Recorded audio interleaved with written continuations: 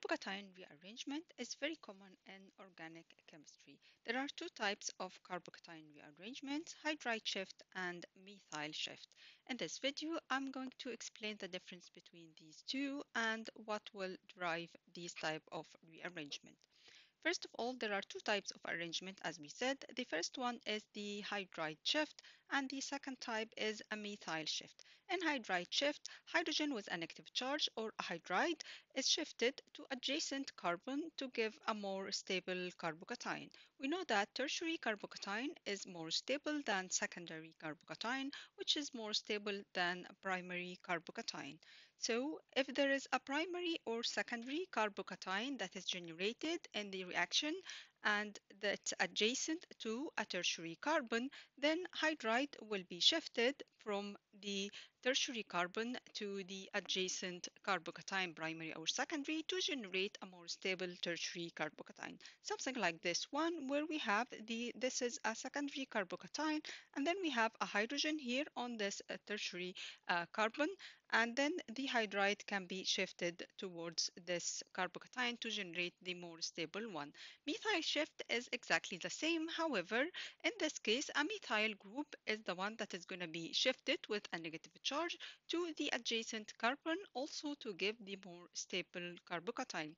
We see that when we have a primary or secondary carbocation adjacent to a quaternary carbon.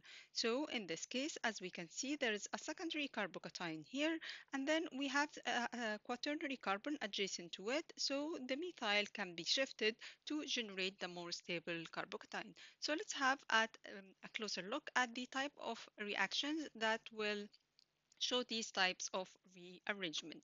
First one is the SN1 reactions where we can see the hydride and the methyl shift.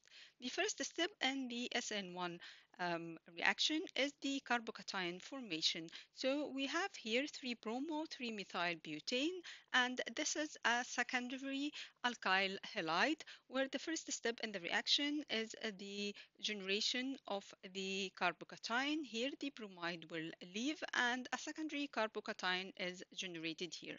However, this secondary carbocation adjacent to it, there is a tertiary carbon. So the second step, which is going to be a fast step, will be the hydride shift from the adjacent carbon, tertiary carbon, towards the, uh, the secondary carbocation. That will then generate a tertiary carbocation on the adjacent carbon, and this is more stable carbocation. So the following step in the SN1 reaction will be the nucleophilic attack. So have your nucleophile, which could be water, for example, the water will attack the tertiary carbocation and that will generate the other intermediate and finally the deprotonation from the water to give you the tertiary alcohol. So you end up with the tertiary alcohol rather than ending up with the secondary alcohol.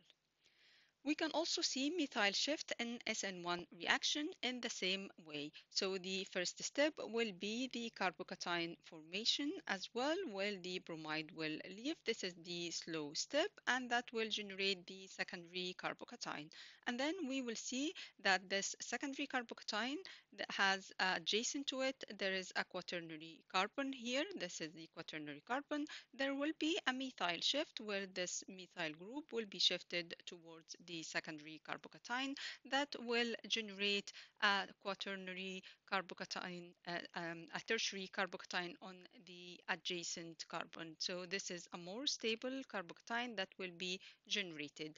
And then the next step, as we know for SN1 reaction, will be the nucleophilic attack. So this is the nucleophile water will attack the tertiary uh, carbocation or the tertiary carbon and that will give us the final product after the deprotonation step, which is the tertiary alcohol rather than the secondary alcohol.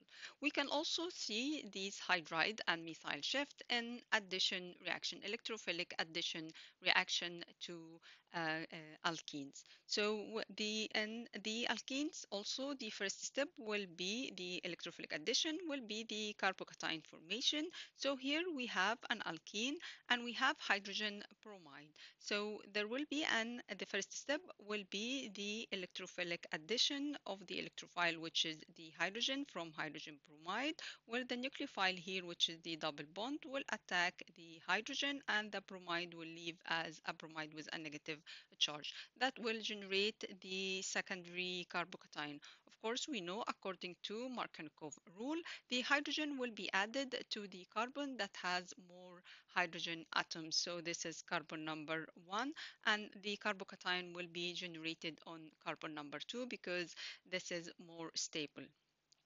But then the secondary carbocation adjacent to it, there is a quaternary carbon. So this is, this is a fast step where a methyl shift will be seen here. So a methyl group will move from the quaternary carbon to the, car the secondary carbocation and that will generate a, a tertiary carbocation on this carbon, which is more stable.